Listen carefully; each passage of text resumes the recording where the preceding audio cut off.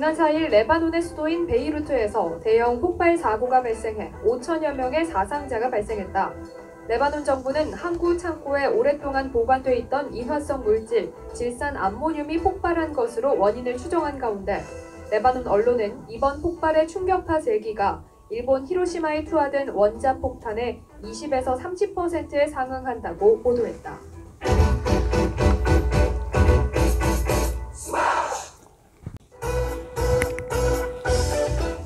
본회의장에 원피스 차림으로 출석한 정의당 류호정 의원이 연일 화제다. 류 의원은 50대 중년 남성 중심의 국회 관행을 깨보고 싶었다고 밝혔으며 격식이 없다는 일부 지적에 대해서 국회의 권위라는 것이 양복으로부터 세워진다고 생각하지 않는다며 관행이라는 것도 시대 흐름에 따라 변하는 것이며 이를 잘할 수 있는 복장을 입고 출근했다고 생각한다고 밝혔다.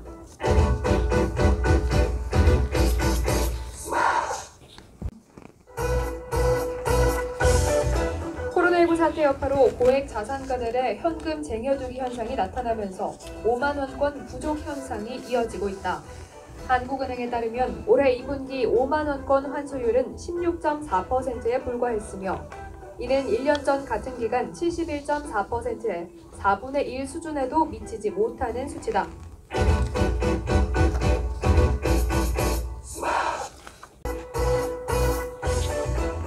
자치경찰 기관이 경찰 조직과 일원화되는 방안이 추진돼 제주도 자치경찰단 독립기관이 역사적으로 사라지게 될 전망이다. 제주도 자치경찰단은 2006년 제주도 특별법에 따라 전국에서 유일하게 신설돼 올해로 15년째 운영돼 왔다. 이에 대해 원희룡 제주도지사는 지역 주민의 생활 안전과 질서 유지 업무에 역행하는 결과를 초래할 것이라고 지적하며 유감을 표명했다.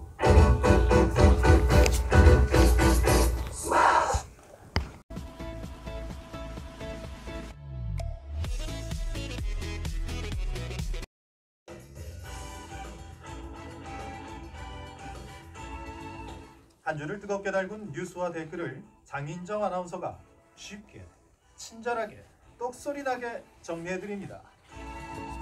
장인정 아나운서의 주간 검색어 바로 시작합니다.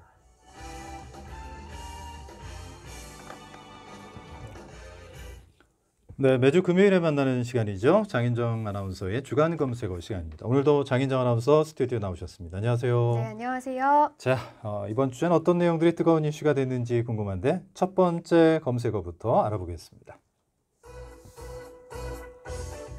지난 4일 레바논의 수도인 베이루트에서 대형 폭발 사고가 발생해 5천여 명의 사상자가 발생했다. 레바논 정부는 항구 창고에 오랫동안 보관돼 있던 인화성 물질 질산 암모늄이 폭발한 것으로 원인을 추정한 가운데 레바논 언론은 이번 폭발의 충격파 세기가 일본 히로시마에 투하된 원자 폭탄의 20에서 30%에 상응한다고 보도했다.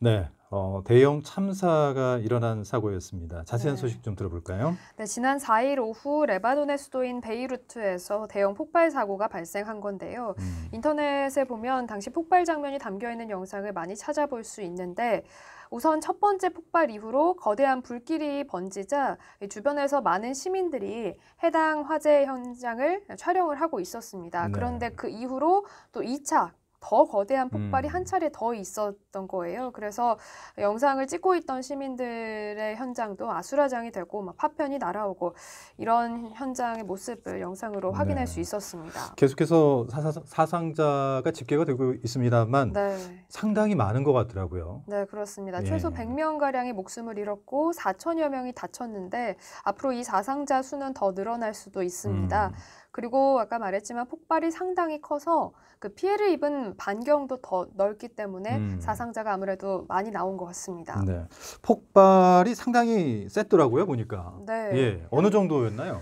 우선 현지 매체와 전문가들 말에 따르면 이번 폭발의 충격파 세기가 1945년 8월에 미국이 일본 히로시마에 투하했던 원자 폭탄의 충격파의 음. 20에서 30% 어. 정도에 상응하는 그런 크기라고 합니다. 예.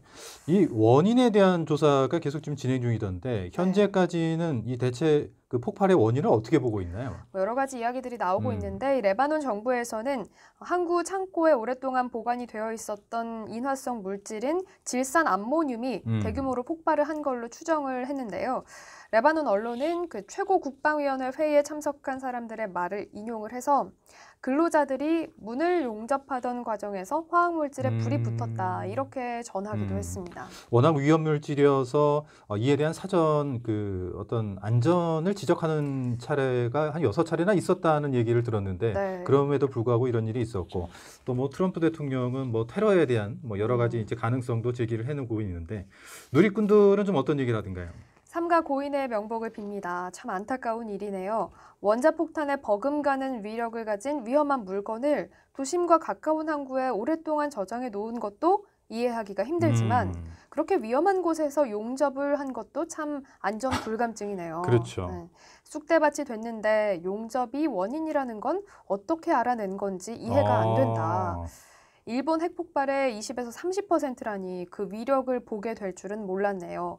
무고한 시민들의 안타까운 죽음이다. 폭발 영상 속 음. 그들이 한없이 가엾네요. 네. 라는 등의 댓글이 있었습니다. 안전 불감증, 안전 부주의로 인한 사고 치고는 워낙 대형 사고이기 네. 때문에 일부에서는 뭐 다른 가능성들을 제기하는 음. 부분도 있습니다만 어찌됐든 빨리 피해 복구가 이루어지기를 어, 기대해 보겠습니다.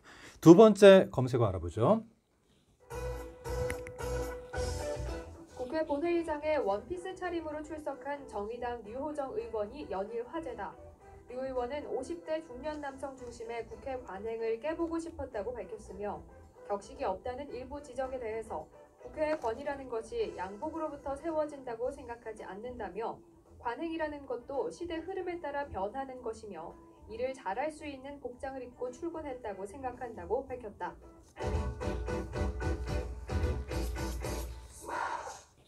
네, 많은 분들이 갑자기 웬 원피스 얘기가 이렇게 네. 검색어에 올랐나 음. 싶으실 텐데 자세한 얘기 좀 들어볼까요? 네, 이번 주 내내 류호정 원피스라는 네. 검색어가 검색어 상위권 순위에 있었는데요. 네. 정의당 류호정 의원이 빨간색의 패턴 무늬 원피스를 입고서 국회 본회의장에 출근을 한 겁니다. 음. 어, 뭐 디자인에 보면 많은 여성분들이 일반적으로 입는 그런 원피스인데 이게 네. 이렇게 화제가 된 건 국회 본회의장에서는 좀 그동안 우리가 보기 어려운 스타일의 음. 옷이었기 때문입니다. 네. 음. 저도 봤습니다만 네. 옷 자체가 그렇게 크게 문제되는 것 같지는 않았고 그렇죠. 이제 국회의 아, 국회의원으로서 음, 어, 이게 국회 본회의장에 이제 옷을 입고 와서 문제가 됐던 건데 음. 일단 그 류 의원은 관행을 깨보고 싶어서 이렇게 입었다 이런 입장을 밝혔죠. 네, 그렇습니다. 류 의원은 지난 6일에 한 라디오 프로그램에 출연을 해서 이렇게까지 크게 논란이 될 줄은 예상하지 못했다. 국회가 검은색과 어두운 색 정장 그리고 넥타이로 상징되는 측면이 있었고 음. 이런 관행들을 좀 깨보고 싶었다라고 말을 하기도 했습니다. 네. 워낙 논란이 큰 만큼 다양한 시선들도 있겠죠. 네, 그렇습니다. 뭐 응원하는 목소리도 당연히 많았고요. 그리고 실제로 류호정 의원이 입고 출근을 했던 그 빨간색 원피스는 네. 이미 온라인 마켓에서 품절이 됐더라고요. 어 그래요? 네, 그 브랜드의 해당 오. 색깔이 품절이 됐고 뭐 뜻밖의 마케팅이 된 셈이기도 한 것 같은데 네네. 그런데 또 일각에서는 뭐 격 식이 좀 없는 거 아니냐 음. 이런 지적도 있더라고요. 그런데 류호정 의원은 이런 지적에 대해서도 국회의 권위라는 게 양복으로부터 세워진다고는 생각하지 않는다. 음. 관행이라는 것이 시대 흐름에 따라서 변하는 것이고 그저 일을 잘 할 수 있는 복장을 입고 출근을 했다 이렇게 생각한다라고 밝혔더라고요. 네. 음. 자 누리꾼들 반응이 궁금해집니다. 어떤 얘기들이 좀 나왔나요? 네, 누리꾼들 의견도 음. 다양했는데요. 아, 편한 건 몸빼 바지가 최고인데.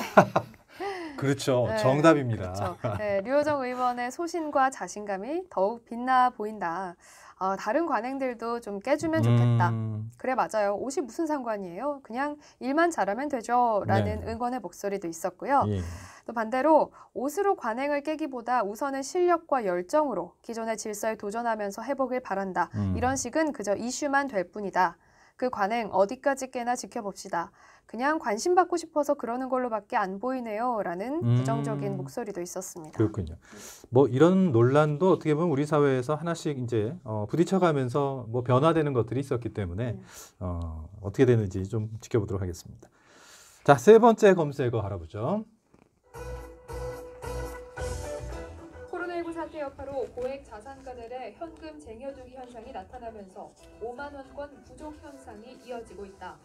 한국은행에 따르면 올해 2분기 5만 원권 환수율은 16.4%에 불과했으며 이는 1년 전 같은 기간 71.4%의 4분의 1 수준에도 미치지 못하는 수치다.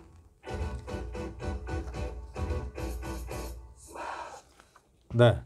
어, 갑자기 왜 이런 5만 원권 품귀 현상이 일어났는지 좀 궁금해지는데 자세한 얘기 좀 들어볼까요? 네, 오늘도 관련된 소식이 연일 뉴스에서 랭킹 높은 순위를 차지했던데 코로나19 사태가 정말 많은 현상을 뜻밖의 낳았잖아요. 음. 그런데 5만 원권 품귀 현상까지 나타나고 있다고 합니다. 서울 강남구에서 고액 자산가들을 상담하는 한 프라이빗 뱅커는 5만 원권을 최근 구하기가 어렵다고 밝혔는데요. 음, 그리고 경남은행은 일부 지점에다가 5만 원권 수급 부족으로 지급 불가 어. 이런 안내문을 붙이기도 했습니다. 네. 왜 그럼 이러냐 살펴봤더니 코로나19 사태 여파로 고액 자산가들의 현금 쟁여두기 현상이 나타나서 그런 겁니다. 어. 음. 쟁여둥이라는 표현이 좀 그렇습니다. 일부 어떻게 보면 사재기, 현금 사재기처럼 음. 모아둔다는 모아두기, 얘기잖아요. 그렇죠. 음. 어, 근데 이제 이게 환수율이라고 하면 이제 은행으로 다시 들어와야 되는데 음. 은행으로 들어오는 환수율이 16.4%에 불과하다. 어딘가에는 그러면 이게 모아져 있다라는 그렇죠. 얘기네요. 네, 지난 5일 한국은행 발표에 따르면 올 2분기 5만 원권 환수율이 16.4%였는데 이게 작년 이 기간과 음. 비교를 해보면 작년엔 71.4%였거든요. 같은 기간. 어. 그러니까 아주 많이 감소한 그러네요. 것이고요. 올해 이런 수치는 어, 5만 원권이 도입됐던 당시 채 4개월도 안 됐던 2009년 3분기가 음. 1.1%였는데 그 이후로 가장 낮은 수치라고 하더라고요. 네. 음. 그러면 아무래도 이제 코로나 때문에 경제 상황이 안 좋아지다 보니까 현금을 보유하려는 그런 분들이 많아서일까요? 네, 그렇습니다. 유사시에 대비를 해서 현금을 갖고 있으려고 하는 그런 현금 보유 수요가 늘어난 데다가 또 중소기업이나 자영업자들의 영업도 부진해서 음. 은행에 입금이 되는 현금도 음. 좀 줄었기 때문입니다. 아, 그리고 원래 현금 보유 성향이 좀 높은 고액 자산가들이 최근에는, 최근에는 현금을 움켜쥐고 정부 정책의 불확실성에 대비하고 있다. 이런 관측 도 네. 나오고 있습니다. 참 최근에는 이제 뭐 부동산 정책이나 이런 것도 어, 워낙 좀 이슈가 되면서 네. 이런 것들이 좀 어, 이- 같이 영향을 좀 미치지 않았을까 하는 분석도 있는 것 같더라고요. 네, 맞습니다. 예. 70 부동산 대책이 나온 후로 다주택자들의 중과세로 인해서 이제는 부동산 시장에도 뭐 추가로 돈을 투자하거나 음. 투기하는 게 더 어려운 상황이 됐고 또 언제 어디서 어떤 분야의 규제가 나올지 모르니까 우선은 현금을 쥐고 관망을 해보자 음. 이런 상황이라는 분석도 있고요. 네. 그리고 또 사실 요즘 은행이 워낙에 뭐 제로금리다 이런 음. 말도 있어서 은행에도 돈을 묶어놓기가 상당히 좀 그런 상황이고 그렇죠. 금리가 이제 떨어지니까. 네. 음. 그래서 뭐 이런 저러한 이유들이 모두 합쳐져서 이렇게 5만 원권 부족 현상이 나타난 것 같습니다. 그러면 공급에 대한 얘기가 나올 것 같거든요. 네. 공급을 늘리는 건가요? 어떻게 되나요? 네, 그래서 한국은행은 여름철 휴가도 지금 휴가철이기도 하고 또 앞으로 추석 연휴도 다가오는 만큼 음. 앞으로 5만 원권의 수요가 더 늘어, 늘어날 것으로 예측을 해서 네. 공급을 더 늘릴 계획이다 이렇게 밝혔습니다. 그렇군요. 음. 또 올해는 명절 이 좀 빨라서 네. 그렇죠. 9월 말부터 10월 초에 그렇죠. 연휴가 음. 있잖아요. 그래서 이 5만 원권 수요에 대한 얘기들이 계속 나오지 않을까 하는 생각이 음. 좀 드네요. 자, 누리꾼들은 어떤 얘기를 하던가요? 이러다가 10만 원권도 생길 것 같은데 어. 네, 은행이 제로금리고 그리고 어딜 가든 현금으로 계산하면 좀 깎아주긴 한다. 정치를 잘 못하니 국민들은 불안할 수밖에. 아, 나도 금고에 갇힌 신사임당 많았으면 좋겠다. 금고도 없지만 네. 금고가 있어도 넣어둘 신사임당이 없네. 세뱃돈 말고는 요즘 현금 쓸 일이 있나? 기업에 투자들 안 하고 돈을 전부 쌓아두고 있으니 참 나라가 걱정된다. 음. 나라가 그만큼 불안하니까 나타나는 현상인 거죠, 뭐. 라는 음. 등의 댓글들이 있었습니다. 그렇군요. 이 5만 원권의 수급 불안을 두고서 여러 네. 가지 해석들이 나오는 거 보니까 음. 참 우리 경제가 아직 조금 어, 어려웠나 같아요. 아, 라는 네. 생각도 좀 음. 들고요. 자 마지막으로 네 번째 검색어 알아보겠습니다. 자치경찰기관이 경찰 조직과 일원화되는 방안이 추진돼 제주도 자치경찰단 독립기관이 역사적으로 사라지게 될 전망이다. 제주도 자치경찰단은 2006년 제주도 특별법에 따라 전국에서 유일하게 신설돼 올해로 15년째 운영돼 왔다. 이에 대해 원희룡 제주도지사는 지역 주민의 생활 안전과 질서 유지 업무에 역행하는 결과를 초래할 것이라고 지적하며 유감을 표명했다.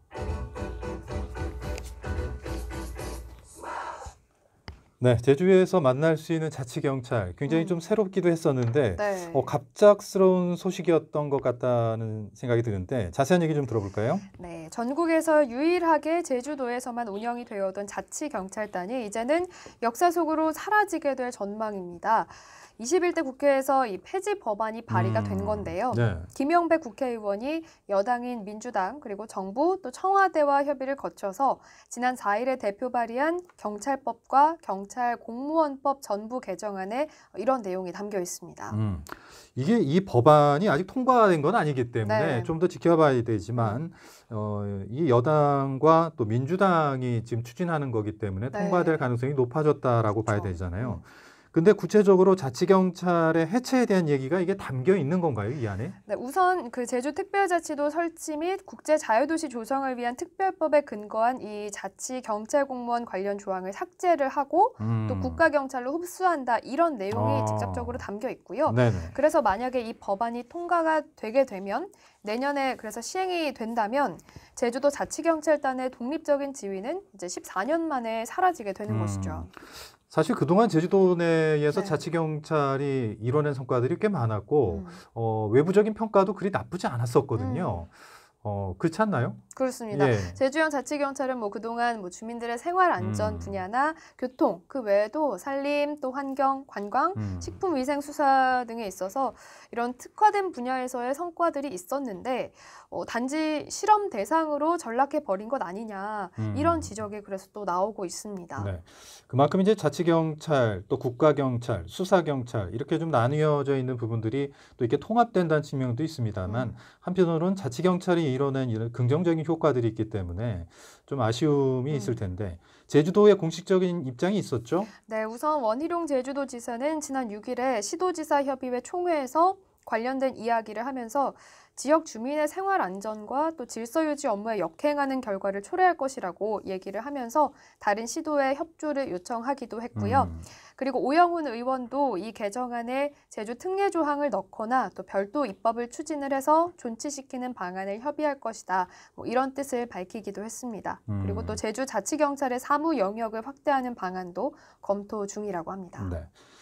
어찌됐든 제주는 선도적으로 했기 때문에 음. 제주가 살아남을지 또 어, 어떻게 통합이 될지는 조금 더 지켜봐야 될 것 같습니다. 자, 누리꾼들 얘기도 좀 들어보죠. 네, 제주에는 친절하고 권위적이지 않은 자치경찰단이 있어서 참 좋았는데 음. 생겼다가 다시 없어졌다가 이게 뭐 하는 걸까라는 목소리도 있었고요. 어차피 같은 경찰인 건데 굳이 애초에 나눠져 있어야 했나? 지방세까지 써가며 국가경찰과 자치경찰을 나눠야 하는 이유는 사실 없다고 생각한다. 미국처럼 넓으면 몰라도 좁은 땅덩어리에 국가직과 지방직 경찰을 나눠야 하는 이유는 뭐였을까? 국민들 입장에선 이름이 뭐가 중요하겠어요. 일만 잘하면 되죠. 라는 목소리도 있었습니다. 네. 어떻게 보면 이 자치경찰이 생긴 것은 어떤 권력의 나눔이기도 음. 했습니다. 예, 그래서 국가경찰이 독점했던 그 권한들을 자치경찰을 통해서 권력을 또 나눈 음. 그런 측면들이 있거든요. 앞으로 이에 대한 논의도 계속 이뤄질 것 같은데요. 계속 지켜보도록 하겠습니다. 오늘 얘기 여기까지 듣도록 하죠. 오늘 주간 검색어 장인정 아나운서와 함께했습니다. 고맙습니다. 네, 고맙습니다.